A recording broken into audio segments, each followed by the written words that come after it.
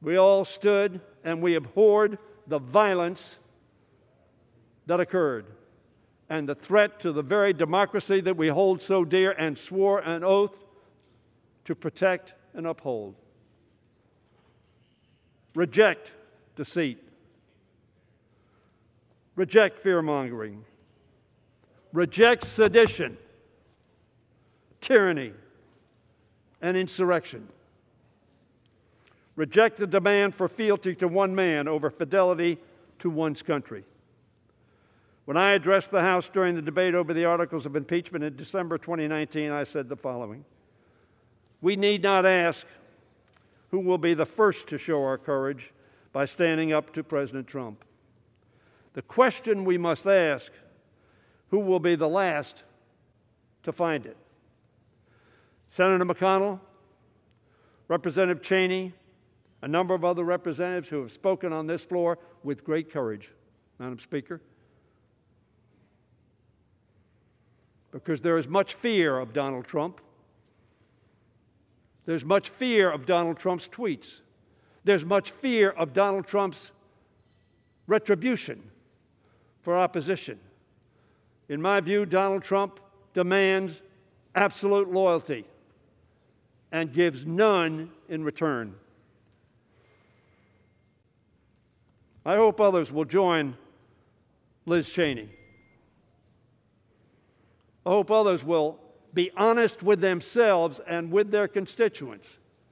As Liz Cheney was saying, there has never been a greater portrayal by a President of the United States of his office and his oath to the Constitution. Don't dismiss that. She's the daughter of a Vice President of the United States who was the whip when I came to Congress. As she has taken a stand, I hope others will as well, Madam Speaker. Soon, the clerk will call the roll and ask for our votes. Make no mistake,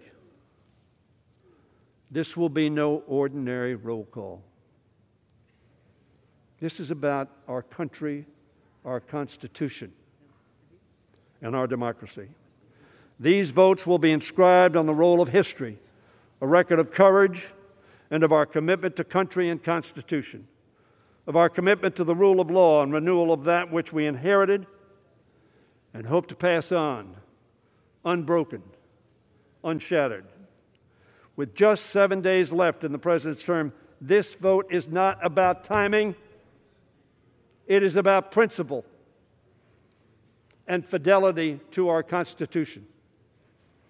It concerns the clear and present danger facing our country, not only in these final days of the Trump administration, but in the weeks, months, and years that will follow.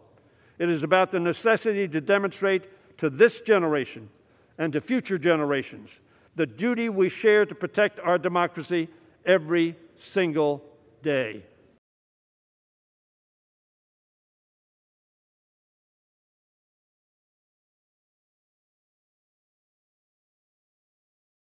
The biggest stories the moment they happen from around the globe. Subscribe to Bloomberg Quicktake now for insight in an instant.